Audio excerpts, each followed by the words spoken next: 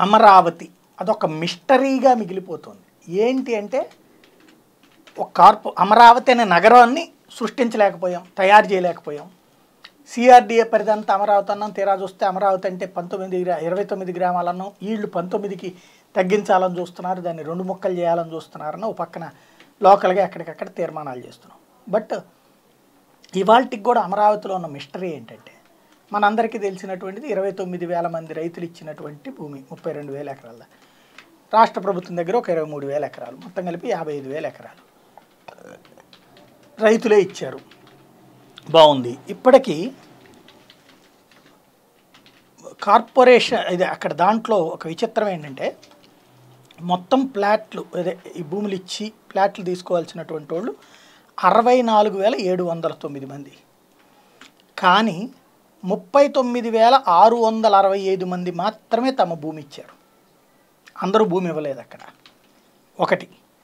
రెండవది ప్లాట్లకు సంబంధించి ఇరవై ఐదు వేల నలభై నాలుగు అక్కడ ప్లాట్లు చేతికెళ్ళినాయి. మిగతాది ఇవ్వలేదు. సారీ అరవై నాలుగు వేల ఏడు వందల తొమ్మిది మంది తమ స్థలాలు ఇస్తే ముప్పై తొమ్మిది వేల ఆరు వందల అరవై ఐదు మందికి మాత్రమే ప్లాట్లు ఇచ్చారు. మిగతా వాళ్ళకి ఇరవై ఐదు వేల నలభై నాలుగు మంది ఏమయ్యారో తెలియదు వాళ్ళు ఈ రోజు వరకు ప్లాట్ల కోసం రాలేదు రావట్లేదు. ఇప్పుడు ఎక్కడికి రావాలో తెలియదు అంతకుముందు ఎందుకు తీసుకోలేదు తెలియదు ఏమైపోయారు వాళ్ళు?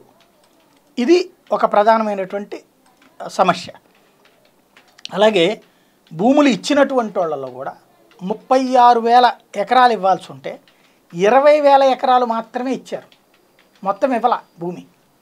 అదొక మరొక కాన్సెప్ట్. ఇక్కడ భూమి ఇవ్వలేదు ఇచ్చిన వాళ్ళలో కూడా కొంతమంది కనబట్టలేదు అంటే అడగట్లేదు.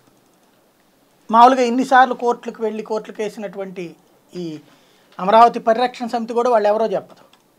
వాళ్ళు ఎక్కడున్నారో తెలియదు. లేకపోతే వాళ్ళు వచ్చేసి ఇదిగో మాకు ఇంతవరకు ప్లాట్ ఇవ్వలేదు అనాలి కదా. ఇక్కడ ఇచ్చిన లెక్క ముప్పై తొమ్మిది వేల ఆరు వందల అరవై ఐదే ఉంది. తీసుకొని వాళ్ళు ఇరవై ఐదు వేల నలభై నాలుగు ఉన్నారు. వాళ్ళు ఏమయ్యారు? ఎక్కడోళ్ళు. ఇది మిస్టరీ.